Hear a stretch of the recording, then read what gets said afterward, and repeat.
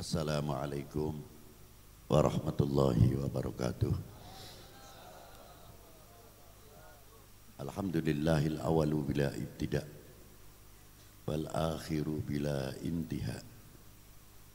Wassalatu wassalamu ala imami ahli safai wal wafa. Qutbil anbiya wal awliya Sayyidina wa maulana Muhammadin khairid dawa' likulli saqamin wada rahmatan wa syifa fi sirri wal jila wa ala alihi wa sahbihi ma damatil ard was sama amma ba'du. Ayuha sadati sadatin al aiza al fudala yang saya hormati para sesepuh bini sepuh para alim ulama para habaib. Maaf saja kalau saya tidak bisa menyebutkan satu persatu. Tidak berarti mengurangi cinta saya, hormat saya khususnya pribadi saya kepada para sesepuh, para ulama, para habaib. Yang saya hormati keluarga yang dikholi Bapak Kiai Haji Syahlan Ridwan sekeluarga putra putrinya cucu-cucunya yang saya banggakan dan yang saya hormati akhina fillah mantan pimpinan GP Ansor dahulu Bapak Kiai Haji Khalid Mawardi segenap pengasuh pendidik dalam pesantren tahfadil Quran Al-Munirah. Diberi kekuatan dohiran wa batinan dalam rangka mendidik anak-anak supaya menjadi ahlul Quran. Yang saya hormati bapak-bapak dan instansi pemerintahan sipil TNI Polri yang selalu kita banggakan. Pak Camat, Pak Dandramil, Pak Kapolsek, serta jajarannya. Mas-mas kita, mas Banser dari GP Ansor. Dan yang saya hormati Bapak Kepala Kelurahan atau Kepala Desa. Mana nih kita ini Sidrono Sidrono, Pak RT, Pak RW panitia penyelenggara dalam rangka pengajian akbar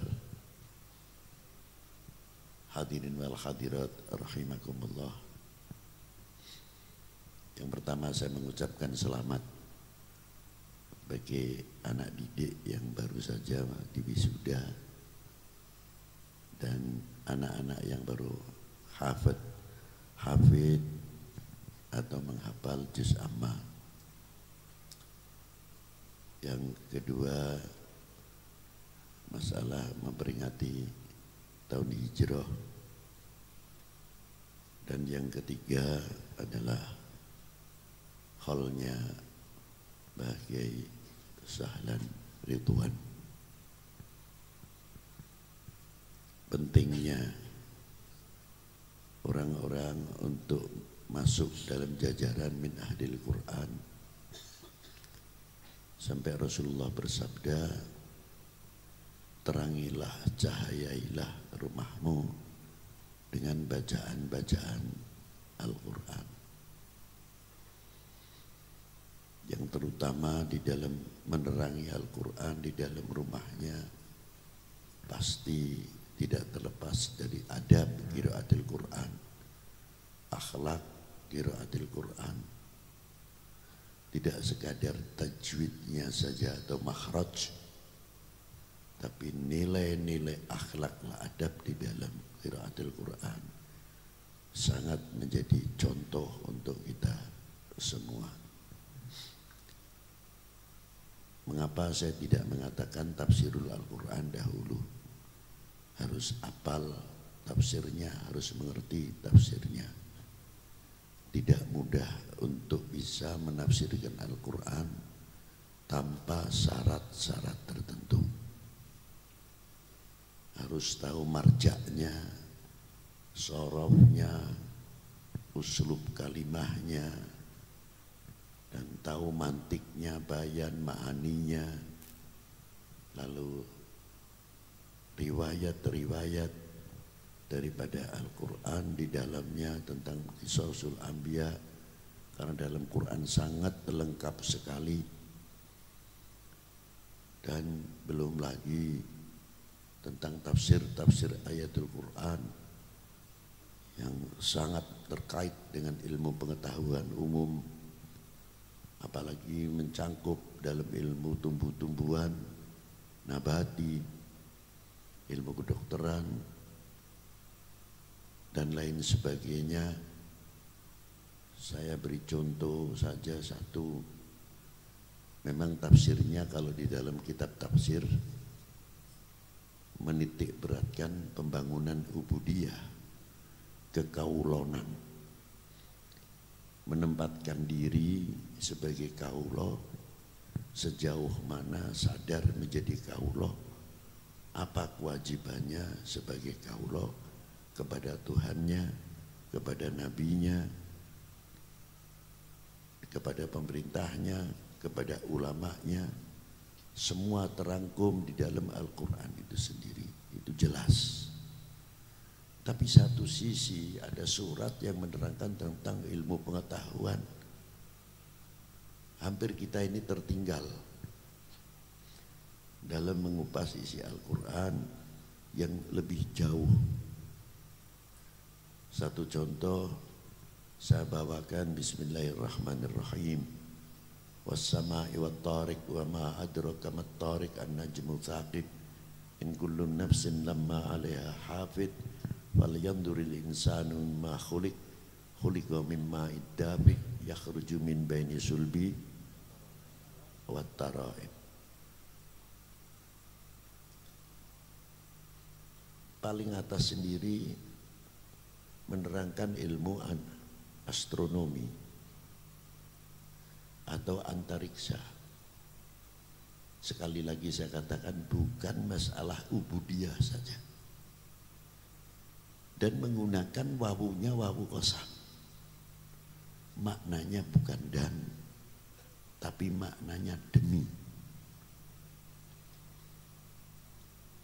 Di sini kalau tafsirnya salah, seolah-olah Allah Ta'ala sumpah dengan makhluknya.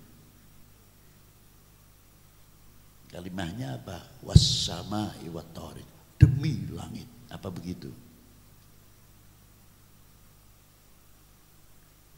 Padahal di sini bukan itu yang dimaksud. Wassamai demi wa izzati wa jalali wa adhamati wa kudrati wa irodati.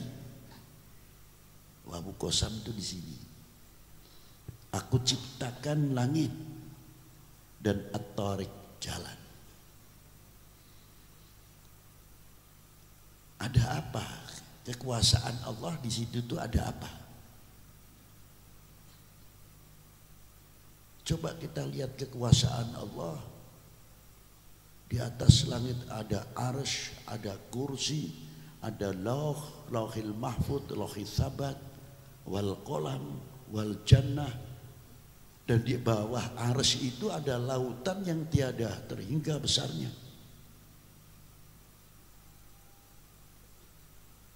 Luar biasa. Dan ars itu termasuk makhluk Allah yang paling terbesar.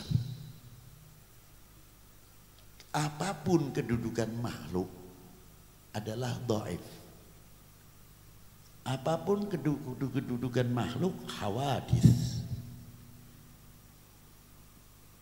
Mustahil kalau Allah Ta'ala demi wa izzati wa jalali wa adomati lalu Allah Ta'ala menghendaki bertempat di aras atau di kursi. Berarti Allah Ta'ala memerlukan pertolongan kursi atau aras. Di mana letak kekuasaan Allah? Mustahil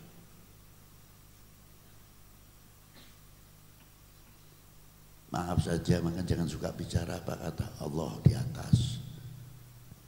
Jangan ikut-ikut. Apa kata yang di atas? Itu kalau ada cicak di atas, dikatakan atas itu mana? Sini, bukan sana. Itu cicak.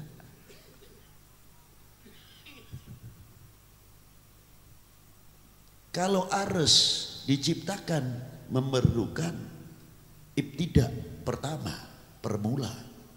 Sedangkan yang menciptakan tidak memerlukan bermula dan berakhir.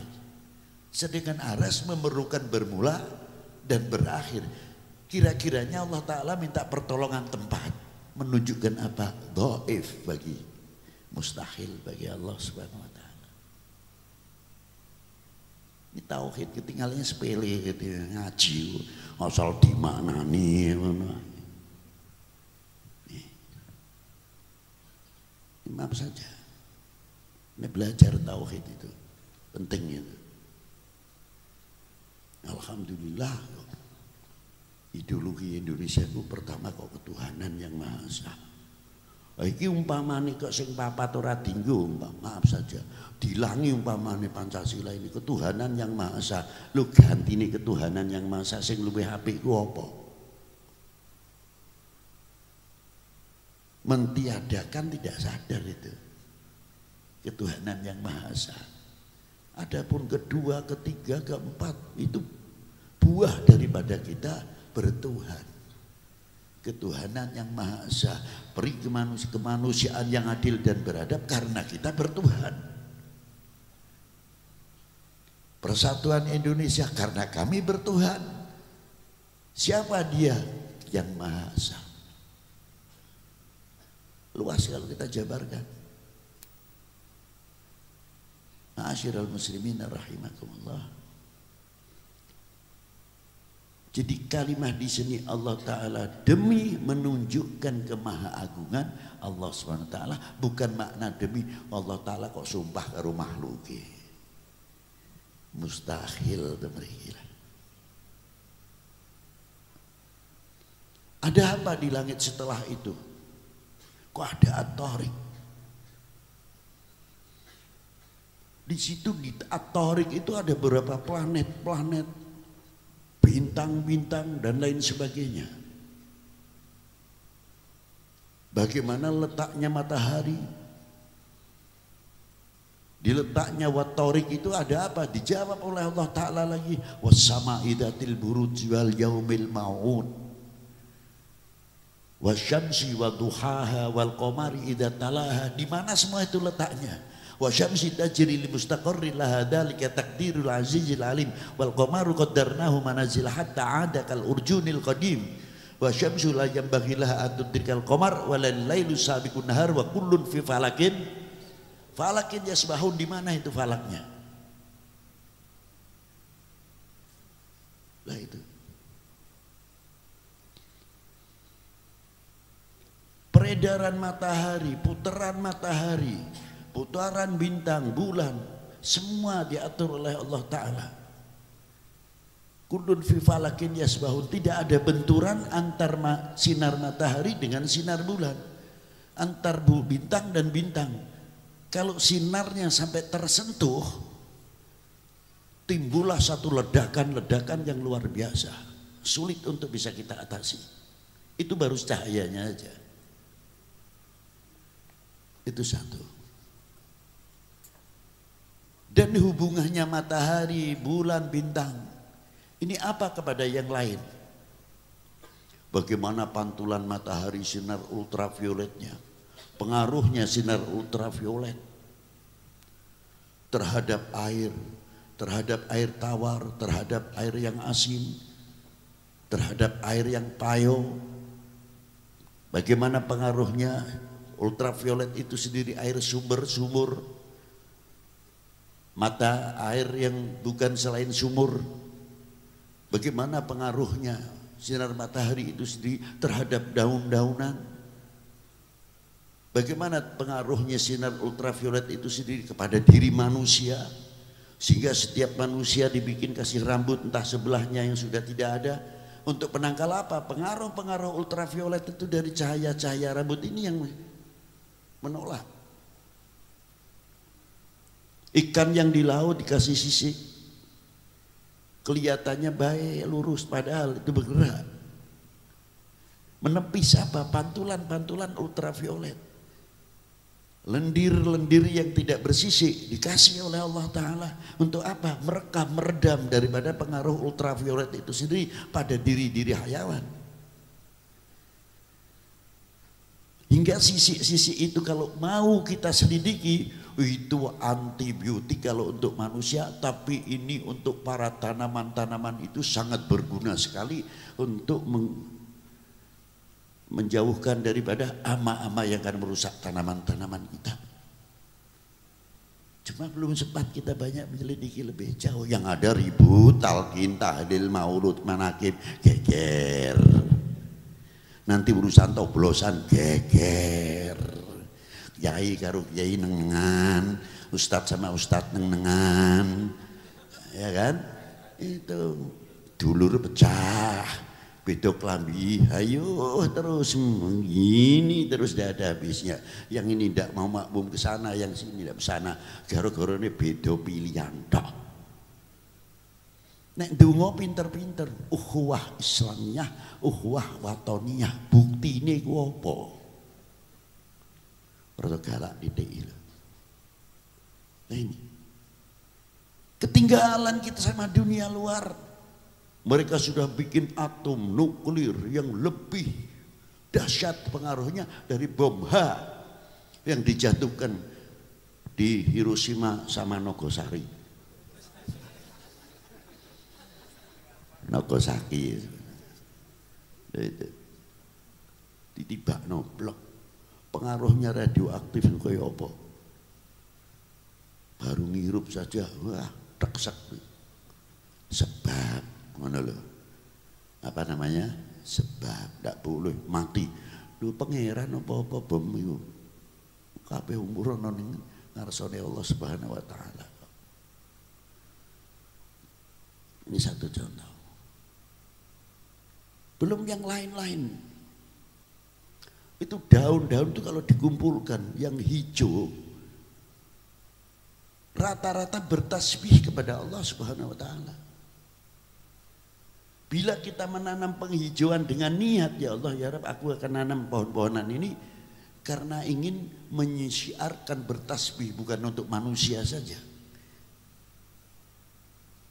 Itu bagian penangkal bala yang akan turun karena apa? Pohon-pohon itu ikut bertasbih. Loh, dalilnya apa beb kok penak nemen lho, dalilnya urung apa-apa. Kanjeng Nabi liwat ning kuburan weruh sing ning jero kubur sing nangis gembar-gembar masalah siksa. Akhirnya Rasulullah menebas pelapah kurma diceblokno dulu. Baru diem tenang. Sahabat takut, terus budi to ya Rasulullah wau kok napa sebabipun jenengan kados mekaten. Aku ki liwat kene krungu tangise ning jero kubur. Apa sebabnya?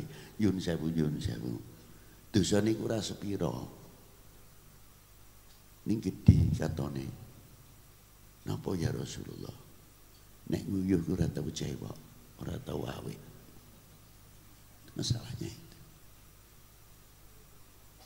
Lalu diambilkan pelapah kurma. Kenapa diteblokkan pelapah kurma?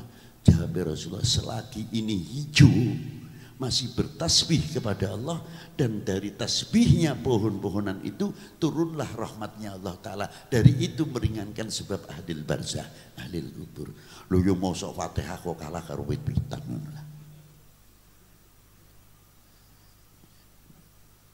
Al-Fatihah ila hadrati ila hadrati Mbah Kiai Fulan Al-Fatihah ndak nyampe lho nek ngono kalah karo regane wit pitan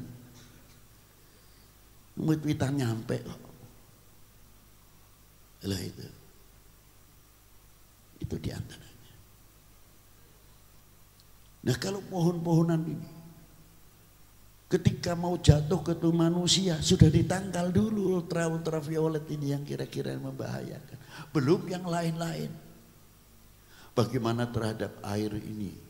Mengapa air laut dikasih asin larutannya? Untuk apa? Menepis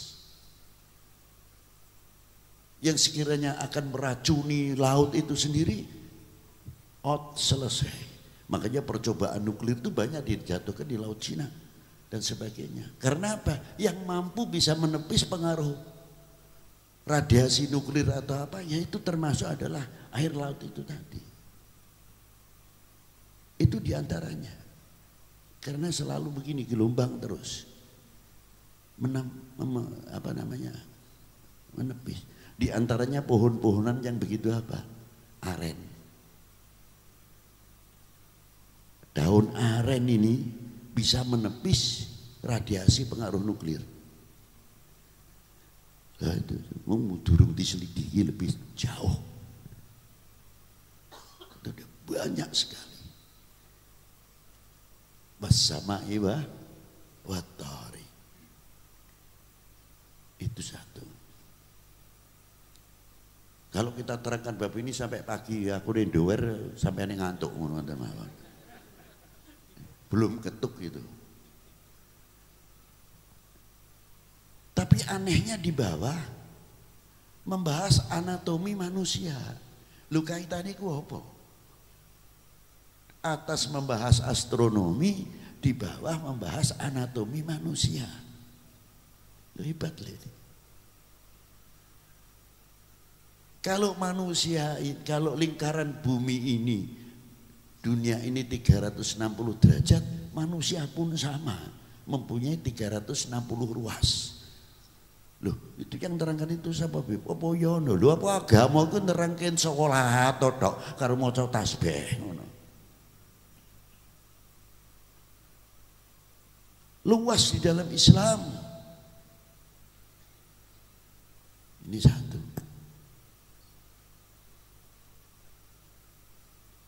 Jadi di, di kitab dakwah utama, di kitab Al-Habib Abdullah bin Al-Haddad sudah menerangkan beliau ruas-ruas manusia nih. Lalu pengaruhnya terhadap ruas-ruas dan kulit-kulit yang halus dan kulit-kulit yang kasar sampai disebut di dalam kitab Safi tentu Najat apa kafuliat. Mengapa harus kita wudhu setiap mau sholat? Untuk apa? Menetralisir. Kita sudah banyak mengeluarkan energi. Jauh. Sampai takaran di dalam air pun diatur. Kulatan. Dua kulah 70 cm kubik. Cukup mineralnya. Kapurnya, besinya, belirangnya luar biasa dan kapur adapun lumpur yang ada di dalam sumur itu sendiri itu mempunyai kandungan penisilin yang cukup hebat. Mengapa orang wudhu kalau tidak ada air pakai debu, kalau digigit anjing pakai pasir, lumpur, apa namanya cara kini disertu kok Eh, mugaladoh itu loh, dikumbah pakai lumpur karena mempunyai kandungan penisilin murni 100 persen. Jangan dikira tidak. Nah sama ketika kita makan juga. Mengapa harus pakai tangan-tangan? Orang ikut tangan ibu. Dan kaki, kalau masuk kamar mandi kok harus pakai kaki kibose. Keluar kaki kanan. Apa sebabnya? Karena kaki kiri ini hubungannya paru-paru sebelah kanan. Ketika kita masuk ke kamar mandi, sekira-kiranya ada bakteri yang lain akan masuk jantung, ditangkal. Karena banyaknya orang terkadang mendadak kena stroke di kolah dan sebagainya. Lihat kakinya dulu dia. Kaki kiri kebanyakannya ya. Dia jatuh, tidak ada keseimbangan. Kaki kanan dulu dia dia pakai kiri Selamatkan itu biar di sini paru-paru. Begitu kaki kanan melengkap, keluar semuanya itu tidak sampai mempengaruhi jantung. Itu sunnatun Nabi bukan sekadar pahala dari kanjeng Nabi. Sunnah tidak ada artinya yang luar biasa. Makan pakai tangan kanan. Hubungannya kuat sekali dengan jantung ini. Ketika kita mengambil sesuap nasi, nah, kita itu satu sekon berhenti jantung, keseimbangan. Dan telapak tangan kanan ini mempunyai enzim yang hubungannya erat dengan jantung dan otak kecil. Nah enzimnya di sini ini kan memunahkan penyakit emah, penyakit kolesterol, penyakit darah tinggi, eh, sampai diabetes atau kencing manis. Ini terutama dibiasakan pakai tangan kanan. Rasulullah Wasallam tangan kanan itu. Syukur kalau habis makan tidak minum setengah jam, lebih bagus satu jam. Biar organ tubuh kita itu enzimnya bekerja. Jangan dimanjakan akibatnya kencing manis dan sebagainya karena apa? Karena kita selalu memanjakan perut kita, organ kita dengan enzim-enzim kita tidak mampu bekerja. Asal usulnya. Quran itu. Sepele ya kelihatannya. Begitu dalamnya Al-Quran. Ma'asyirul muslimina rahimakumullah. Wawe, tidak boleh pakai tangan kanan. Pengaruhnya besar. Pakai tangan kiri yang tidak ada enzimnya sebagaimana enzim tangan kanan. Itu di antaranya. Sangat-sangat luar biasa dari pengaruh apa yang ada di dalam ilmu pengetahuan di dalam Al-Quran. Ma'asyiral muslimin rahimakumullah. Banyak sekali kalau kita terangkan apa yang ada di dalam ilmu pengetahuan sangat erat hubungannya dengan dengan manusia. Diambil dari satu tetes yang disebut sperma. Kok disebutkan? Bawahnya apa? Falyanzuril insanu mimma khuliq. Khuliqa mimma idafik yakhruju min baini sulbi. Wataraib. Ada apa? Tulang rusuk itu ada berapa? Kulun fi falakin yasbahun itu pun sperma itu jalan jangan dikira menempat. Berpindah. Terus, makanya setiap orang habis mempergauli istrinya, sesuai kewajiban perintah agama diperintahkan untuk mandi untuk mengembalikan kembali itu posisi-posisi dan banyak lagi lah kalau kita terangkan. Nah 360 ruas dibagi 4 90 90 makanya tidak ada manusia tegak lurus 100% yang ada 100 derajat tidak ada. Yang ada 90 derajat. Imbang. Lah itu istimewanya. Al-Quran kalau kita buka tapi tidak semudah itu asal wis ning gonono tafsire udah bisa. Perlu kita gurukan kepada orang-orang yang ahli tafsir benar-benar.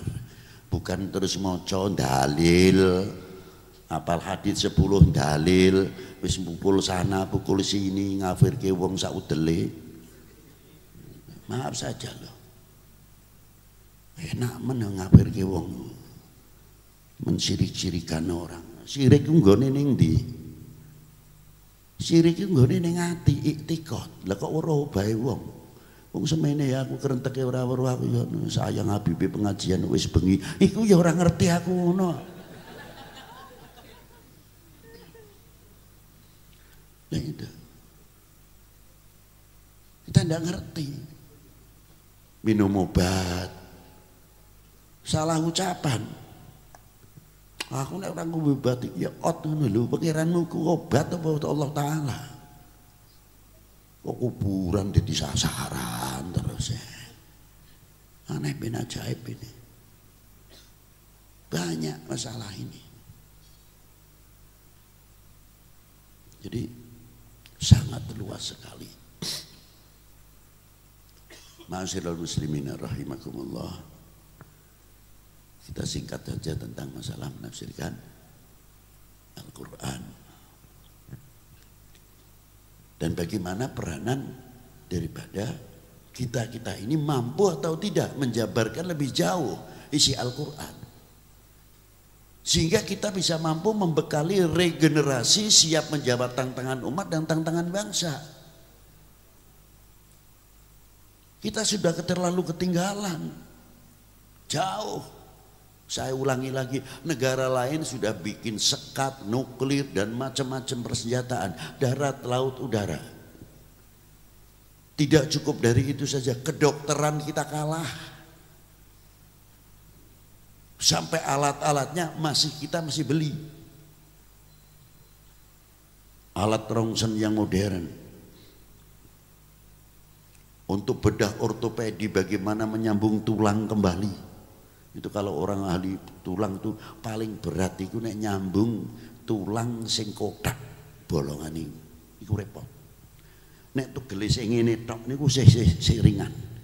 Mau dipen mau apa sih ringan tapi kalau putusnya kota itu dengan Pak Dokter takon ini ono sing ortopedi itu.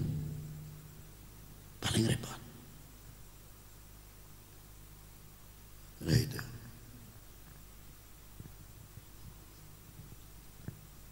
Dan lain sebagainya. Jadi tentang masalah Al-Quran itu sebetulnya kalau anak-anak kita sudah dibekali isinya Al-Quran bukan tahafudnya Insya Allah mampu menjawab tantangan umat dan tantangan bangsa ini maju memajukan ekonominya nah kita ketinggalan. Pertanian ketinggalan kedokteran ketinggalan sampai masalah fanatisme. Apa yang dimiliki oleh bangsa kita republik ini hampir melentur. Lu nek ndi bib? Nek wong iklan ku bayari larang. Tapi ini diciptakan iklan spontanitas bangun opini tapi iklan. Kita kalah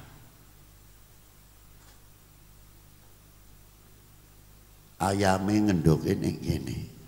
Kawini yo nek kene.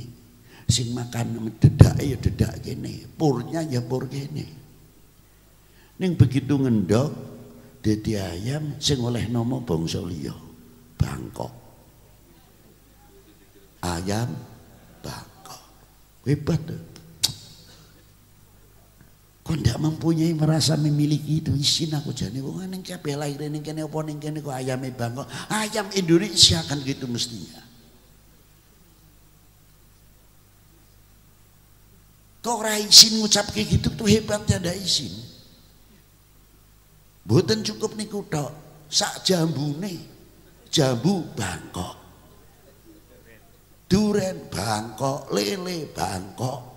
Kabeh hampir akeh Bangkok. Alhamdulillah sih keduman kula Jawa e.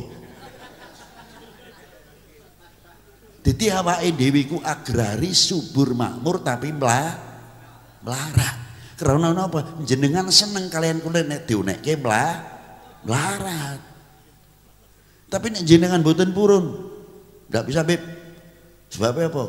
Itu bukan jambu Bangkok, jambu Indonesia. Lah itu baru sampean sugih. Duren apa beb? Duren Petro itu loh, ini Jepara itu bukan Bangkok Bangkok ay. Indonesia sugih jenengan. Nek jenengan sing mune duren Bangkok, duren niki, duren niki melarat niku secara langsung. Seneng nek diarani wong melarat. Tunjukkan kita negara kita itu kaya. Hargailah apa yang produksi dalam negeri sampai produksi bumi pertiwi ini reganono. Baru nanti kita siap bertanding dalam bidang ekonomi, kita akan maju karena apa? Kita mengerti, menghargai apa yang keluar dari bumi pertiwi ini. Lah nek awake dhewe ora iso lalu mau ngomong apa? Jangan salahkan bangsa lain yang anggap rendah kita. Itu satu contoh. Kembali bab tahun baru. Ini urusan ekonomi. Mengapa Rasulullah hijrah? Kok kita peringati, kita tahu neos, pedang, jihad, jihad. Maaf saja,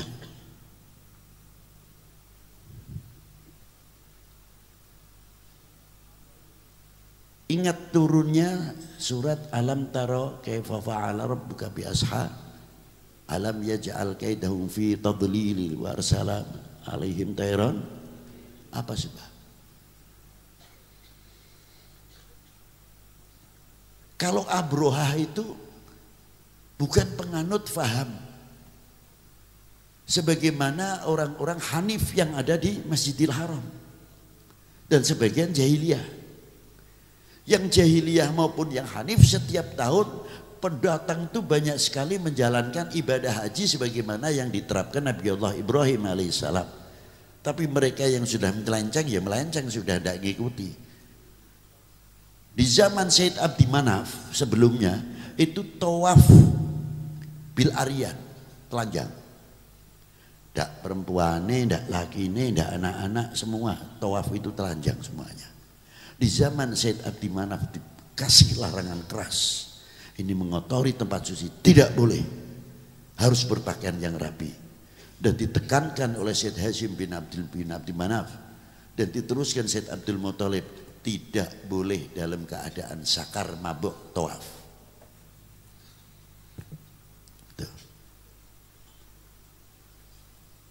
Luar biasa. Mengapa ambisi sekali? Karena setiap tahun income masuk.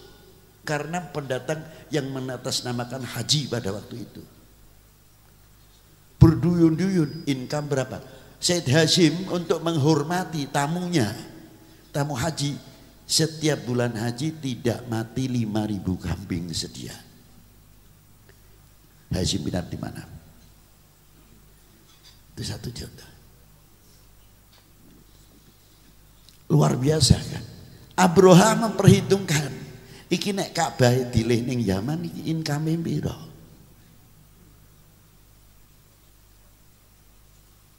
Luar biasa. Datanglah dia dengan pasukannya untuk mindahkan Ka'bah dengan perhitungan ekonomi. Padahal agamanya beda. Mesti nyembah matahari ini orang salah.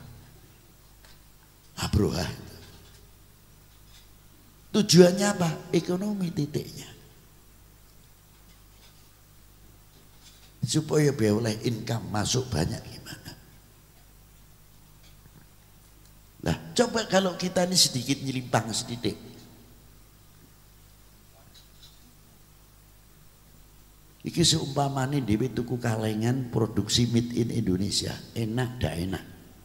Nang ning pikiro, iki nek aku tuku ngombe kalengan sing weton Indonesia. Iki ono made in Amerika atau made in yang lain. Lebih mahal jelas, enak mungkin. Tapi kira-kiranya uang itu masuk income ke negara siapa? Ke negeri kita apa negeri luar? Kapan kita menguntungkan? Biar sampean kalian kula ora tahu manggul bedil bambu runcing tahun sebelum 1945. Sehingga merah putih berkibar kembali dengan luar biasa. Jasane sopo. Jadi kan kalian kalian tinggal ngisi kemerdekaan. Wis ngenteng mawon tuku barang produksi dalam negeri bagian dari hitung-hitung biyen ora manggul bambu runcing, saiki aku tak melu manggul bambu runcing, income bek masuk negarane dhewe. Itu apa tidak suatu kebanggaan? Ayo. Berpikir jauh lah. Apa iku gerak-gerak gerak-gerak Bu? Mangke mawon Bu nek sah niku gelas iki. Yun saya kalau senengnya pidato niku tenang.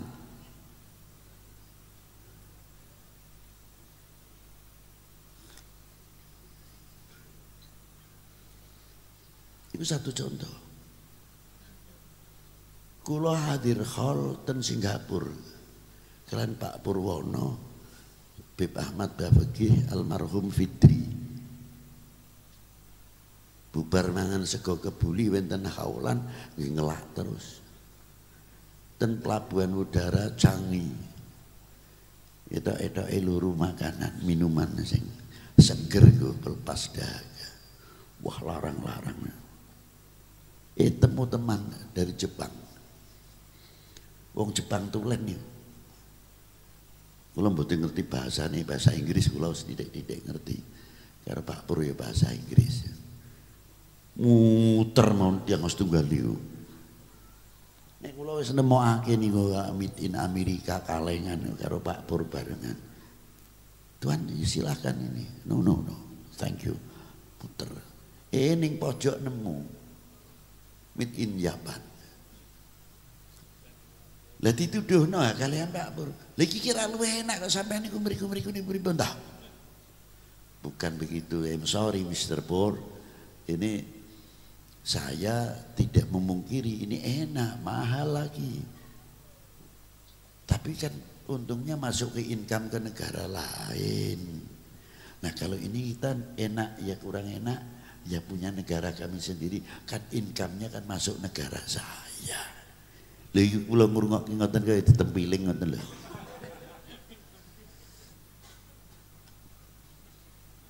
Iki nek wong Indonesia umpamane nyuwun sewu, kok iso ngono kabeh ora hitung separo ngono, maju ekonomi Indonesia.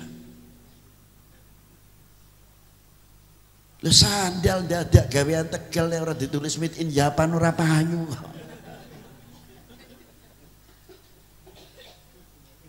Kapan untuk membangkitkan ekonomi? Bagian daripada nasionalisme kita. Merasa handar beni, merasa memiliki. Bukan sekadar handar beni atau memiliki. Menghormati. Handar beni kata, memiliki kata. Tapi menghargai dan menghormati hasil karya bumi pertiwi ini sulit. Maka kita bangkitkan. Kampung ini dewe apa? Atul gedok lindri. Ayo. Badan ini bang kampungnya dewe sih anggo tuku roti gampang ini. Melas ben payu ah. Orang ketung bentino. Seminggu sepisan atau telung dino sepisan. Ayo rame no. Coba belajar dari situ. Nyun sewu bukan kita menolak. Ngantos saat niki niki kula ngerti sugi kalian ngoten-ngoten niki nyun sewu. Mboten kula pangan. Tapi nek ana jeruk sing luwih murah sing tak pangan nih. Sebab kula ngerti niku mit Indonesia. Nah niki jeksinane. Ya nih, ini saya. Ya, salah Banjarnegara niku gene sing sae-sae. Harusnya kita mempunyai tumbuh kefanatikan didiklah anak-anak kita. Dari sedini mungkin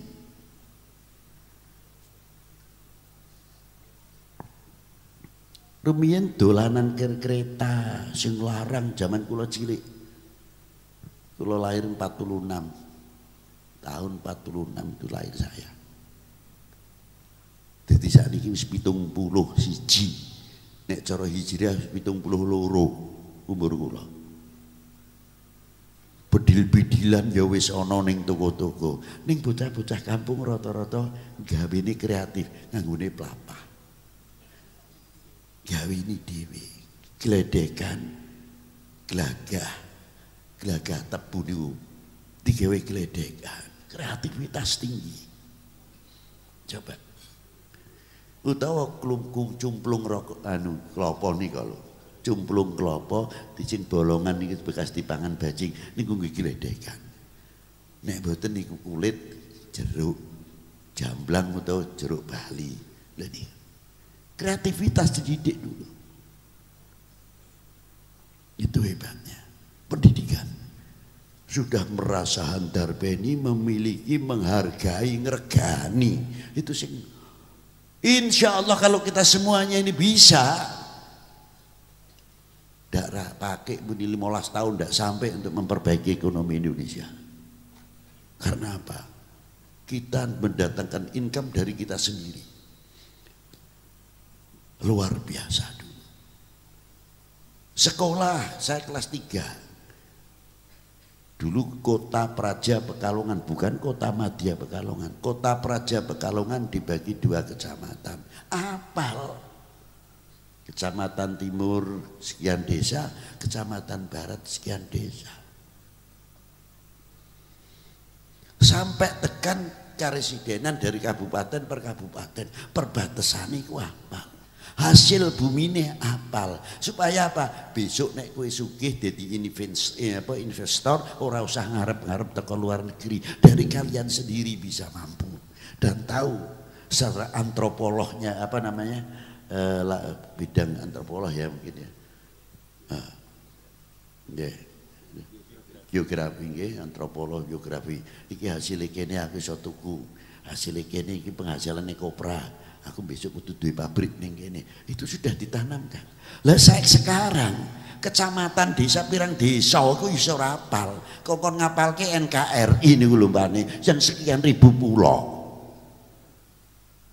Niki pelajaran. Mbuh pelajaran ilmu bumi sekarang ke mana? Itu satu. Satu contoh. Sejarah kabur sudah. Mbuh Sudah banyak yang melupakan sejarah. Nah, kon keluar jati diri, harga diri, tahu kebesaran bangsanya sendiri karena sejarahnya luar biasa. Embo. Coba kalau kita lihat dari mulai Selendra, Erlangga, lalu di zaman Dieng, Sancaka, dan lain sebagainya yang menurunkan beberapa raja-raja di Jawa. Dan tahu Mula Marwan sendiri itu berasal dari mana? Dari Jawa Raja Kutai. Pada waktu itu sudah bisa mampu membangun. Apa di antaranya Borobudur Prambanan reliefnya yang luar biasa. Itu satu contoh Perkatnya itu apa antar batu dengan batu? Itu hebatnya. Sampai sekarang masih sulit, belum ditemukan. Borobudur Prambanan. Setelah pertempuran terjadi Singosari Daha, setelah itu timbulnya Mojopahit. Mengapa timbulnya Sumpah Palapa pada waktu itu? Karena ada peristiwa Singosari yang digencet oleh Mongol oleh Kublai yang menekan Singosari minta upeti jari Singosari antem sik doho kok baru kita bayar. Begitu Kublai Khan mukul daha dipukul dari belakang oleh Singosari. Raden Kertajasa. Raden Wijaya. Akhirnya menang. Kocar kacir itu 70 kapal wasalam itu. Punya Kublai akhirnya menjadi Mojopahit. Setelah itu di zaman Hayam Buruk muncul Gajah Mada dengan sumpah palapanya. Kita bola balik ngomong hebat ya. Gajah Mada hebat hebat dengan sumpah palapanya. Tapi di balik itu ada apa? Gajah Mada sudah mampu menguasai antara Sri Lanka sampai Indochina kalau negara lain menguasai hanya Singosari, tapi Gajah Mada tidak dari mulai Sri Lanka sampai Indochina, yang artinya ojo pisan-pisan gue coba-coba karo Indonesia. Gue paling iso tekan Singosari tok. Aku nek niat tik teko Sri Lanka sampai tekan Indochina itu kan jawaban luar biasa. Dari sinilah kekuatan bangsa Indonesia diperhitungkan oleh dunia luar karena dari dahulu rakyatnya aja sudah TNI, militer kalau sekarang TNI. Sudah polis. Apalagi polisinya, apalagi TNI-nya. Rakyat mawar sudah diperhitungkan begitu. Berarti kita ditakuti. Neng malah kita sebab menjadi oknum yang memperlemah. Karena apa? membaca sejarah hanya tekstual. Itulah. Saya lanjutkan. Nah, inilah pentingnya ekonomi itu di sini. Abroha panggil orang yang mempunyai tanggung jawabnya tinggi terhadap bangsanya, Abdul Muthalib. Abdul Muthalib ingin ketemu bukan memanggil. Ketemu, ditanya, loh ada apa? Abdul Muthalib itu terkenal ganteng itu luar biasa. Yang terkenal kegantengannya Said Abdul Muthalib. Eh yang pun kanjeng Nabi SAW. Saya mau meminta yang pasukan Anda merampas Nek cara mriki niku kerbu, sapi, untane, wedhus, ayame sampean borong kabeh. Lu ngono tok. Ya, tolong kembalikan. Lu aku iki teko kene arep ngelih Ka'bah. Ka'bah urusane karo Allah taala, itu urusanku. Rabbul Ka'bah. Tuhannya Ka'bah nanti yang akan menjaganya. Wis duwe keyakinan tekan kono. Kembalikan ke sapi ini dan sebagainya. Dia menyerang. Alam tara kaifa fa'ala rabbuka bi ashabil fil? Alam yaj'al kaidahum fi tadlil wa arsala alaihim tayran ababil? Ababil tarbihim bi hijaratin min sijil wa faja'alahum kaswim lepek kabeh. Hancur. Itu fanatisme daripada Abdul Muthalib terhadap bangsa dan negaranya. Luar biasa Ma'asyiral muslimin rahimakumullah. Ketika Rasulullah mulai berkembangan setelah bi'thah. Itu kayak apa? Sendirian single fighter. Ini Islam ke nalika semono setengah mati. Baru dapat sekian-sekian. Lalu dihijrahkan. Hijrah bukan karena tuntutan perut atau takut, tidak. Hijrah adalah wahyu. Salah kalau menafsirkan hijrah karena takut. Tidak. Dan rahasia hijrah ada satu istimewa yang luar biasa. Sayyidina Ali saya umur selikur tahun, seorang pemuda. Siap dipaku untuk membela anjing Nabi. Turun yang pesariani. Ini contoh untuk kita kaulo muda ini. Sudahlah tidak kita ceritakan. Begitu sampai di Mekah, eh, di Madinah disambut tala al badru alaina. Luar biasa. Pedangnya dilolos sama Rasulullah. Pedang apa? Pedang ekonomi. Pedang pertanian. Membangun sarana pendidikan. Tempat ibadah. Bukan jihad. Jihad Allahu Akbar, Allahu Akbar. Arep ngakehke rondo apa piye karo yatim. Coba kita bisa Allahu Akbar bangun mall. Allahu Akbar bangun supermarket.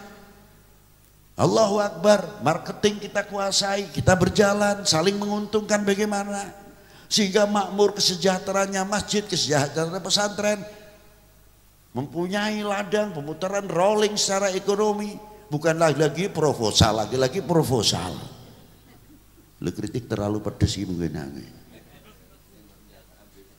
Nyun saya mawon. Nek wis ana wong teko kepen mlipit kelambu potong takwa becah ini nggawane map wis bisa ditebak iku wis langsung waskita wong ya. Hmm. Ora liya masjid madrasah. Nek ora arep 17-an. Langsung ditebak. Nah, coba ini. Kita ketinggalan lagi. Makanya Rasulullah membangun. Di kampung semene coba. Yuran setiap bulan sepuluh ribu rupiah. Bangun apa setanah cilian gue gawe. Supermarket kecil-kecilan. Ayo terus muter itu. Apa NDW tuku ning jobo nek ora eneng ning kampunge dhewe. Tapi kalau masih ada, berilah keuntungan untuk kemajuan ini. Ini kalau bisa. Itulah yang dibawa oleh wali sembilan sampai sekarang bukti. Masalah kita membicarakan, ikut dongone tekan ora tekan masa bodoh sudah itu urusan. Tapi realita ini tidak bisa kita pungkiri. Ziarah dan Sunan Ampel jenengan. Kali Jogo. Mengharap ning kuburan kok dodolan ono kopiah putih, tasbih lain-lainnya banyak. Iku arep dagangan karo wong mati apa piye? Dan orang yang datang ke Kanjeng Sunan Kalijaga sing tahlil tahlil, sing yasinan yasinan, sing nganggo cara semedi semedi dan lain sebagainya komplit. Tapi ora eneng sing duki dengan Sunan Kalijaga terus padang bulan padange kaya rino ning arep makome utawa begadang mari begadang eh, Al-Fatihah wa Yasin dan sebagainya. Lu wis itu kok iso Pak ngajak orang berzikir, tahlil. Awake dhewe maghrib menuntun anak-anak ngongkon setiap malam Jumat wis kirim Fatihah ning yange Mbah Putri dan sebagainya setengah mati. Sunan Kalijaga ora wis sedo sekian ratus tahun isih iso berdakwah ngejak Allah. Dan bisa membangun ekonomi kerakyatan lingkungannya. Wis sedo lho, durung Sunan Ampel. Waning Syarif Hidayatullah Gunung Jati separuh muslim separuh non muslim. Kau iso ngerti sing non muslim ngerti ziarah ning Bali Songo Wajib. Sesuai dengan kepercayaan dan keyakinannya masing-masing jalan bersama sing kene tahlilan la ilaha illallah la ilaha illallah sing kono.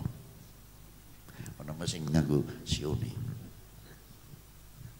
sing kene subhanallah wa bihamdihi subhanallah iladim aku kagum karo saya Allah wis itu sekian ratus tapi bisa bisa mempersatukan umat beragama. Masih bisa mempersatukan bangsa ini.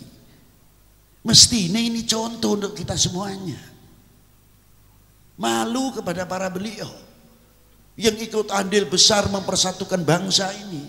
Dari pelenggu penjajah dan kebodohan